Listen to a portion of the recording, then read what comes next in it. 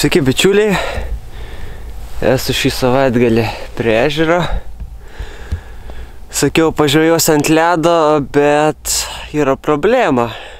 Ledas yra, bet ledo nėra.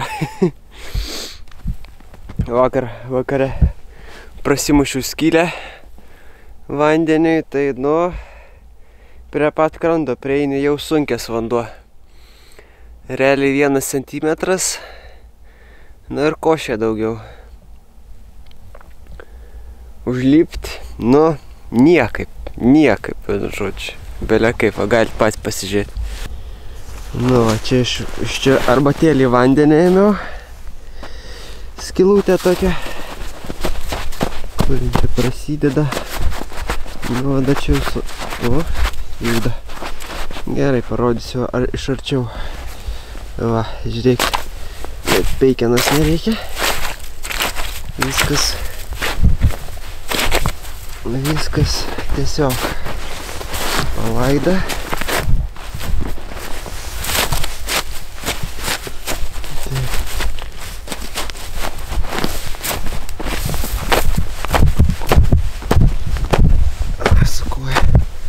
Prašau. Su koja net prasimušė ledas. Nieko net nereikia, nei kirvė, nieko, nei peikinas. Tai va, geras centimetras ledo. Nu ir daugiau va tokia košė. Tai, nu, ten jau kažkur metras, ten du, trys ir taip toliau nuveina iki septynių. Metras į priekį, metras gilin. Du metrai į priekį, du metrai gilin. Tai, va, tas lapės vaikščiota, daugiau nei kečių, nei žvėrių, nieko. Tai va, sakiau, nelipsi tikrai, nes maudynės garantuotos. Gal tai kokį, kajaką turėtum atsigultum ant pilvo ir šliauštum, bet, nu, ne iki tokių ekstremumų. Pilnas sniego. Belė kiek, kokį, nu, vidutiniškai, kur be įsikiam cėmų. Tai va, atėjau kokį, nežinau, 10-11 km. Atpumpau per porą valandų iki va ežerėlio, o ežerėlis neužšalęs. Na ką, nieko, pas tave klausė, sakiau. Pabūsi gamtoj, tyko ramu. Nieko nėra, šarnų tik išknystą mačiau laukuos. Tai va, tokios tokelės. Ežeras yra, bet ledo nėra. Viską turi diperį, balansyrų, vaibų, blizgių, meškerę. Lemenės, maigus, viską turiu, bet nėra ledo. Tuo niekaip nėra, neišeis užlipti. Be šansų. Plius dar čia nais, vat, žinau, kad eina srovės. Šilta, šalta, tai ten ledas dar planesnis. Tai va, pasnikta, nebūtų sniego, galbūt užsištraukė čia per kelias dienas, bet dabar... A, a, niup. Kamikadze nenori būti. Tai va, tokios tokelės. Ką jūs gerą veikėt? Ie, ieškot balų? Ar sėdit namuose ant sofos? Balų turiu menį užšalusių balų. Ten kokie mažesni tvenkinukai gal ir užšalę, bet ten, kur aš tikrai noriu, kur žinau, kur pagausiu, tai va matot, nėra ledo, centimetras tik tais. Va iš ten atėjau vakar per sniegynus.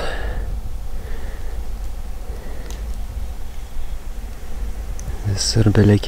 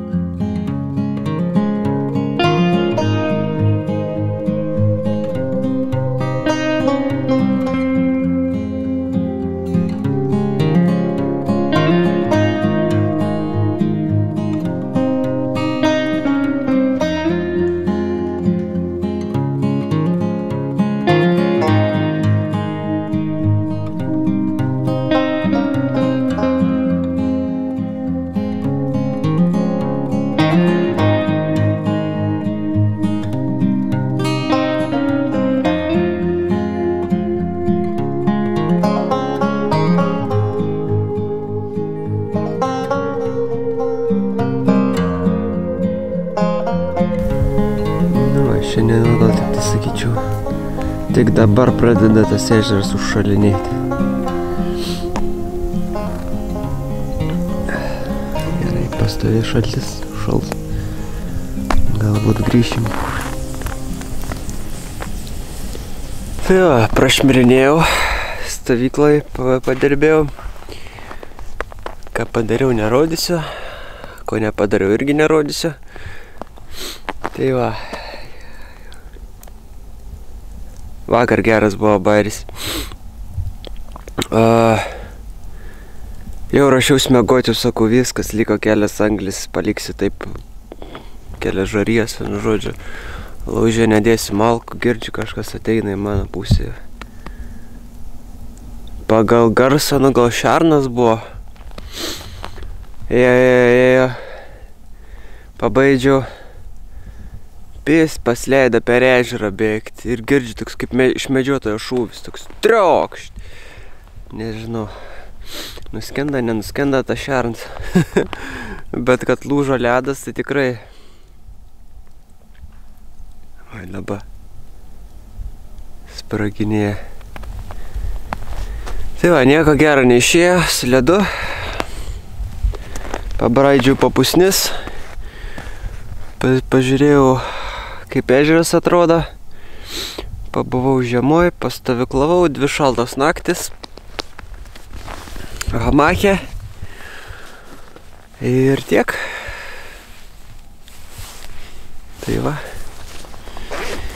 tokias takelės. Kuprinė beveik jau supakuota. Bandysim eiti per šitos visus pusnynus. Atgal į statelę 10 kg. Nes matai, ne pons, mašinas neturi. Prasideda kelionė atgal. Tai būtent takas žiūri ne mano. Va pamatysit, ko nematė. Čia naktį atėjo kažkur apie dešimtą. Negi tai svarbu. Sniego nėra biški. Oi. Čia kažkokios lapės eita. Tai A. Eina takas. Raugiriškis kas nori. O ežeras tai šiaip su. Ten pamelinavę, patamsavę, patamsėję. Tikrai neužšalęs. Rovės čia eina. Gilio nemėrina. Tai va, geras sprendimas buvo nelipt. Nes po to va iš dar jeigu ir pagalbas dar neprisikviestum, čia tikrai sušaltum, nes malkų mažai turėjau tokiam dalykui. Ir dabar mažai. Tai pačiu jaunalynas. Nu, bet... Ah. Ah.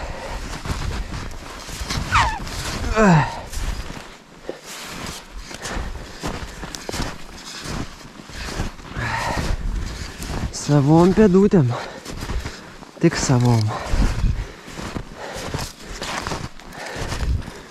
Kaip atėjau, taip ir išeisiu. Pėda į pėdą. Nes čia... Žiūrėkit, kas darosi. Šernsai jau karšta.